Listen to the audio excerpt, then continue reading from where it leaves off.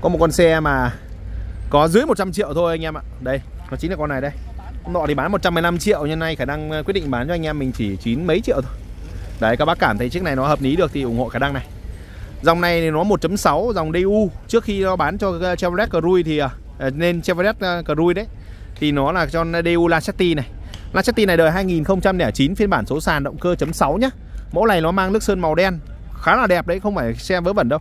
Con này đẹp luôn, mà máy gầm ngon và đi rất là chắc các bạn. Biển Ninh Bình tên tư nhân, có là đang đúc đầy đủ luôn, Sơn si đẹp. Với động cơ 1.6 số sàn, Dòng này nó hơi tốn xăng tí. Nó tầm khoảng 6 lít đến 7 lít trên 100 km các bạn. Có thể là đường phố thì sẽ tốn hơn, Nhưng mà trung bình nó tầm khoảng 6 lít rưỡi trên đường trường rồi. Đấy, nhưng mà nó rất là chắc, Đi rất là đầm các bạn. Đầm nhưng mà nội thất thì hơi hơi, Về nó thật form dáng thì hơi già. Form dáng hơi già nhưng nó rẻ. Ví dụ anh em lấy con Vios thì nó phải tầm khoảng trăm tư, trăm sáu rồi, Nhưng con này nó chỉ có chín mươi mấy triệu thôi. Đấy, 90 cũng là cũng không khi nó lên đường rồi các bạn. Đấy anh em mình phải nựa xem là nó tài chính của mình đến đâu nữa. Đây là mẫu xe ngày xưa là chính chủ người ta đi ờ, Cán bộ ờ, nhà nước đi đấy Nên là người ta đi giữ gì lắm Không có chạy dịch vụ đâu. Anh em mình lấy con này nhìn này nội thất ờ, nguyên nỉ nguyên này Đấy. Ngày trước con này tầm trăm tư trăm rưỡi trăm sáu Bây giờ chỉ có 90 triệu các bạn Nó rẻ mà Rẻ mà nó hữu dụng đấy. Mà dòng đồ nhiều đồ đặc ở giữa thay thế nó thoải mái cửa nó vẫn rít rịt này đấy. Cửa ít người mở vẫn rít rịt luôn. Và về tôn vỏ thì sơn si sạch sẽ rồi à, bốn nốt mới nhé bốn nốt rất là mới luôn. Anh em mình lấy những con này về đi gọi tránh chống cháy rồi. Đi uh, gia đình kết hợp chạy uh, tí dịch vụ đá đưa cũng được các bạn. Nếu mà đi đường trường mà đi dài cũng không không no con này đâu. Anh em mình an tâm. Về máy móc thì người ta đi thường xuyên rồi. Anh em mình về phải trải nghiệm. Ví dụ ngày một ngày anh em mình đóng hai ba trăm cây thì nó nó nó là đôi khi là quá tải với chiếc xe này. Cũng có thể là, là đi được nhưng cũng có thể là nó sẽ kém hơn những xe dòng xe khác. Nhưng đổi lại là nó rẻ đấy mình không bao giờ khen khen xe mình quá nhiều đâu. Nhưng mà chất lượng xe thì phải báo báo chuẩn cho bà con. Vì nó không đâm đụng va chạm gì thì báo luôn cho anh em mà không có tai nạn nặng ngập nước. Còn lại sơn si thì sạch sẽ trong ngoài nét. Và bốn nó quả lốp mới. Những cái, cái ưu điểm thì mình sẽ nói. Còn lại là cái cái thực tế thì thì con xe này nó không ngon bằng như Vios được. Nhưng mà Vios thì đắt.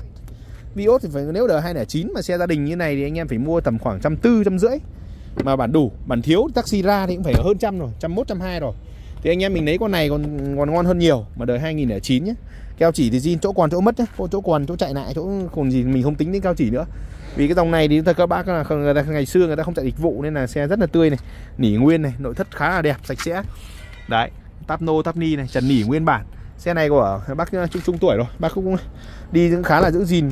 Đặc biệt là nốt náp anh em mình bốn quả mới tinh. Đấy bốn quả mới tinh thôi chứ không phải à, là cũ đâu mới tinh thôi đăng kiểm tận tháng 8 năm 2025 vừa đăng kiểm xong. Bây giờ để cho anh em mình có uh, có 98 triệu đồng thôi. Các bác là để giá niêm yết ở cửa hàng.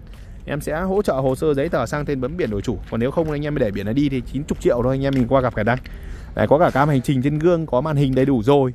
Anh em mình cảm thấy nó 100 triệu thì nó cũng nó rất là, là nhiều tiền đấy. Nhưng mà để mua được con ô tô thực sự các bác mà gọn gàng như con này thì hơi hiếm đấy. Không phải đơn giản đâu. Anh em mình lấy con này được thì hợp lý thôi con này ngày xưa mình nhập nhập vào tám mấy triệu tám tư tám năm triệu. Dọn lên bây giờ phải tầm 90 triệu rồi cả đăng kiểm mới mà. Cũng để lâu lâu rồi đấy để một hai tháng rồi thì thôi bây giờ thu hồi vốn thôi. Thực ra mình không nhập cái xe này. Xe này là khách người ta mang đến đổi. Đây xe đi có 12 bạn xịn này, này xe đẹp đấy. Khách mang đến đổi nên bọn em mới nhận gần 90 triệu rồi. Bây giờ bán thì à, nói chung là hòa hoặc là lỗ tí là ok không sao cả. Đấy trước bán 115 triệu đấy. Bây giờ thì để cho anh em mình 95 triệu thôi bao vào tim. Anh em mình lấy được thì lấy. Này máy rồi các bác nhìn này. Những con xe mà đời 209 mà máy nó sáng như thế này máy nó sáng tinh mà nó nổ êm kinh khủng luôn. Ông nào mà lấy được con này thực sự các bác với cái tầm tài chính khoảng 90 triệu mà chạy thì nó thật cho các bác này. Bao đẹp luôn. Đấy, bao bền đẹp sạch sẽ không nhé. Máy chắc là làm rồi. Máy làm vệ sinh các kiểu rồi nhưng mà thực sự các bác là đây là một chiếc xe form dáng rất là gọn gàng. Với cái tài chính khoảng 100 triệu anh em mình lấy con này cho em quay đầu đấy form dáng đẹp mà máy nổ êm ru không nghe tiếng động luôn đấy khám mới bốn nốt mới sơn si đẹp. Tên tư nhân chính chủ có thể rút hồ sơ sang tên bấm biển đổi chủ. Anh em cảm thấy hợp lý được thì ủng hộ em đăng. À, đây là Seti 2009 chân thành cảm ơn mọi người rất là nhiều.